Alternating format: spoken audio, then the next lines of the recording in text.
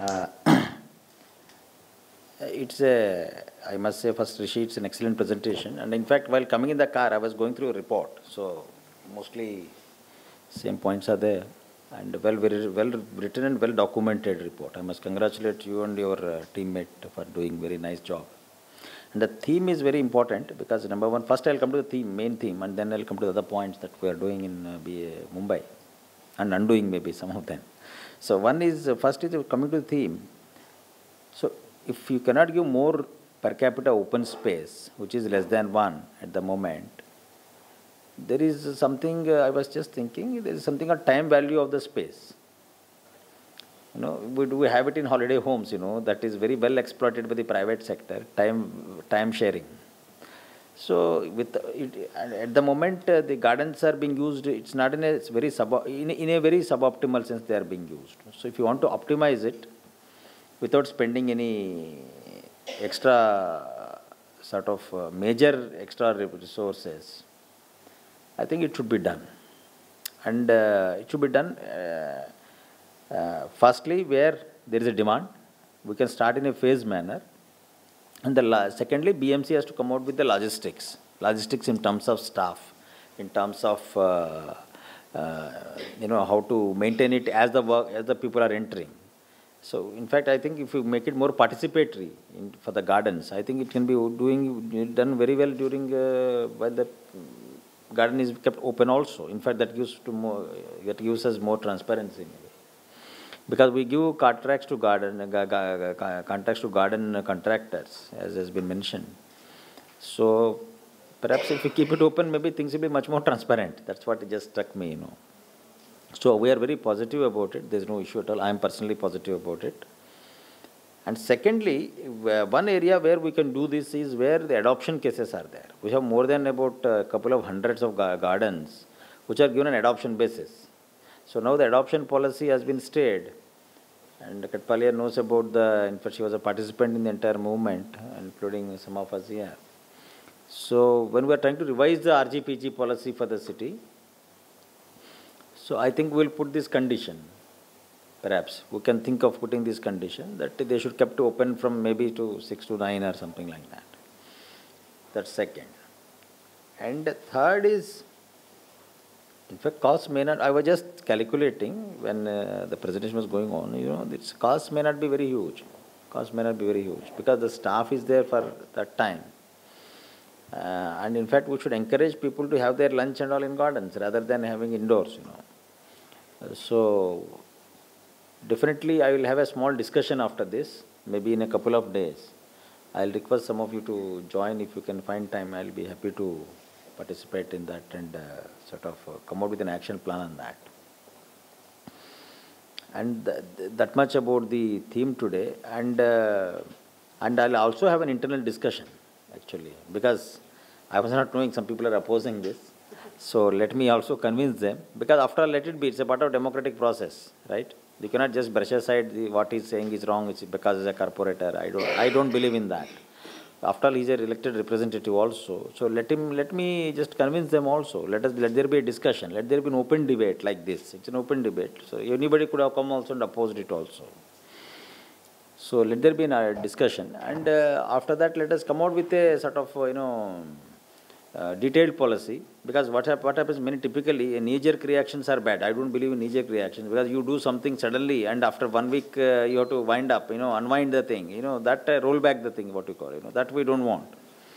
So we'll do in a, in a very uh, calibrated manner. I believe in calibration of any policy, especially a city like Mumbai because it's like you do anything in Mumbai at one point it affects the other point you know sometimes many times very adversely so you calibrate the policy is a beginning has been made I must congratulate the ORF Kulkarni sir for his excellent uh, uh, the idea actually excellent theme uh, which will give extra space at really no extra cost actually and uh, uh, optimizing the open spaces that is one. And second is that that's about today. And second is a couple of things we were doing for the last couple of years. I have completed about two years in BMC. Before that, I was in MMRDA. So BMC, a couple of things we did. One is you know Mumbai requires a lot of uh, wetlands. right, to be rejuvenated. So I remember in uh, MMRD we did a study where all the wetlands have been documented, right? That booklet is there. so after coming to BMC, I thought, why don't we start implementing it, right? This is an opportunity for me. I had a, since I'm there, so let me start. So accordingly, we took up a couple of them. Uh, one is, you know, this Sivaji Talao, that is Sivaji Garden uh, Lake, a pond in uh, Bhandup. I must attend about 10 meetings on this in the last eight years, right, in, including at the chief minister's level before uh, previous chief ministers, about four, three, four of them. So who said we must uh, have this, uh, save this wetland because, you know, it's a very important pond.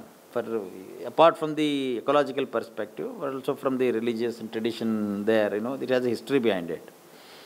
So today I'm happy to tell you, in the last eight months, we have completely uh, done the garden the entire lake has been rejuvenated fully. It has been desilted. There was a there was a dispensary inside the lake, next to the lake. You know, people are living about four kilometers away. Dispensary is here. Actually, staff did not want to be wanted to be shifted because they were quite happy in the garden actually, and there are no patients. So when I started discussing with, they said, "Sir, it is very far." I said, "Very far for whom?" I said, "Very, very far for them, but not for the people." So we shifted the dispensary, which after a struggle of, I think it was going on for last 15 years. And we beautified the garden completely. And there were encroachments which were removed. And we did the access roads very nicely. In fact, I visited it last about uh, seven days back. I felt a lot of sense of fulfillment after doing that. Second lake uh, which I found was done was some of you, maybe elderly people might be knowing, knowing there used to be a lake in Kalina. So it was completely filled up by garbage and uh, debris. Kalina Lake in the western suburbs. So when I went there, I saw typically, you know, what uh, Rishi, you know, she were told about these drugs. So there were drugs were being manufactured there. So then I thought, let us do a uh, lake here because it was mentioned in the document also. It's a Kalina Lake existed at one point of time. So we did it, and this reason, lo and behold, if you go and see, the first rain it is full because we had a, about 1000 mm rainfall in two three days in 19, 20 or 22nd, you know. 21st. So it's almost full. And today, yesterday, in the couple of hours, it must have been completely filled. So this is another success story. Actually, we did not tell anybody. It's the first time I think I am telling in a public forum.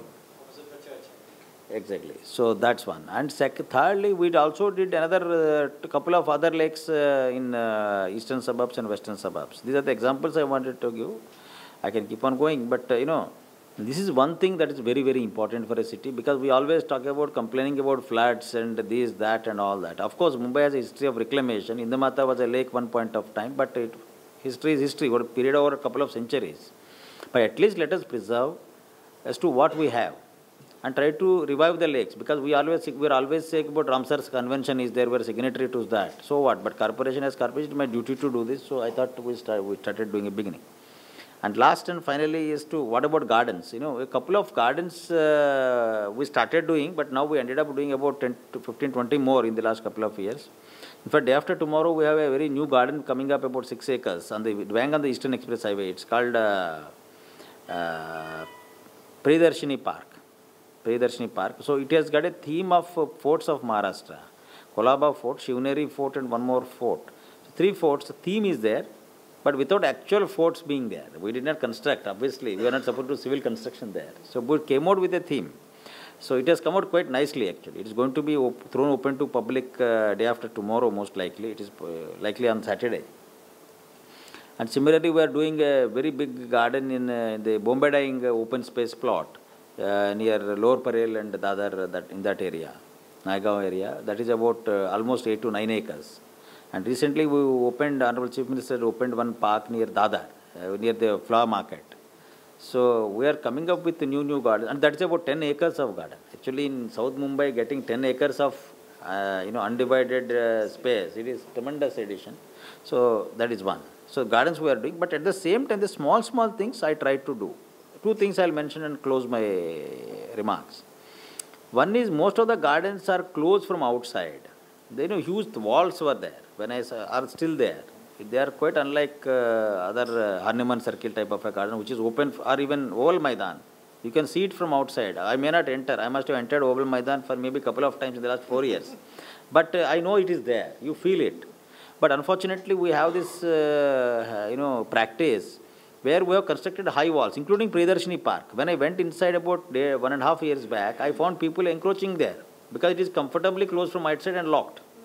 So we first thing I did is to demolish the walls and keep it open, like like Oval Maidan or like your uh, Hanuman Circle. You just keep it open or cross Maidan. You know, it's keep it open to public. Let the people see. Try to use transparency. Apart from you know, in a, really physical sense, you can see from outside what is happening inside. So we did that.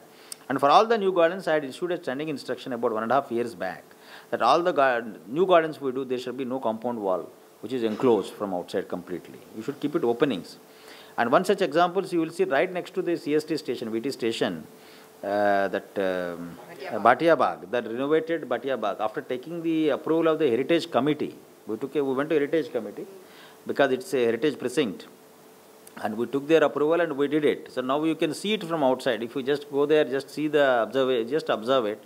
We reduced the parapet wall uh, by about two three feet, and we put it, uh, you know, uh, just those uh, railings.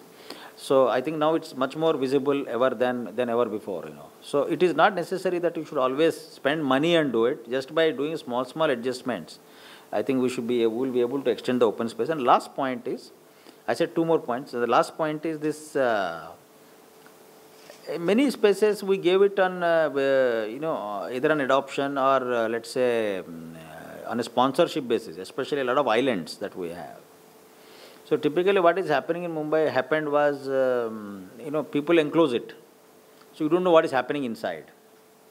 And the, for two reasons I realized. One, maybe, you know, they are afraid that somebody will come or for very silly reason. And secondly, more important, I felt like you don't need to maintain it because people are seeing it from outside only. You don't know what is happening inside. So then, you know, we started in a small uh, intervention near that, you know, this uh, Parsi Baudi, near the church, Churchgate, thoda sa again near the High Court. We just removed all the fence. There are two gardens, you know, just next to Oval Maidan, at the other end, so either the southern end and northern end. At both places I removed. Initially there was some commotion in the public circles.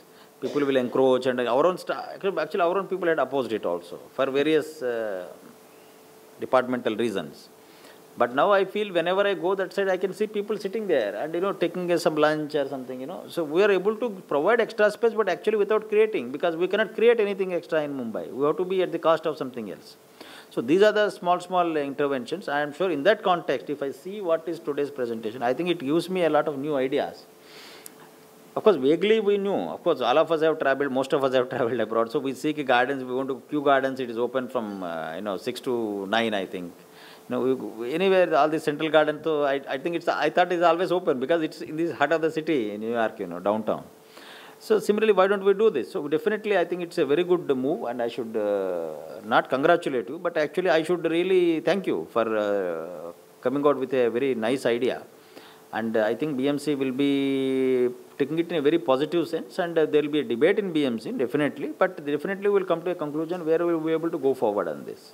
Thank you so much.